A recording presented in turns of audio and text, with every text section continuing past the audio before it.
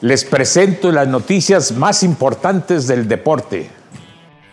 La Liga de Fútbol Rápido Corona llevará a cabo este fin de semana las finales de sus respectivas categorías.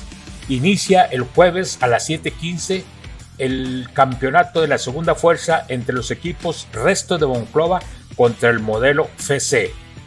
A las 8 de la noche del jueves en la categoría intermedia Pinza FC contra sección quinta por el campeonato. Las finales continúan el viernes a las 7:15. La final por la botanera San José contra Bloquera Mayra.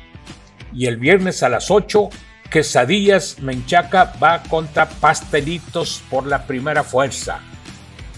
En otro tema, el tenista Novak Djokovic llevaba seis años sin perder en Oceanía, hasta que se topó con Alex de Minur en la United Cup. Fueron 43 partidos, 2.172 días en los que se mantuvo invicto desde el 2019 en la cuarta ronda de Heinon Chung. Ahora está en proyecto su buena participación en el australiano para Medio Tiempo Deportes, José Luis Adriano.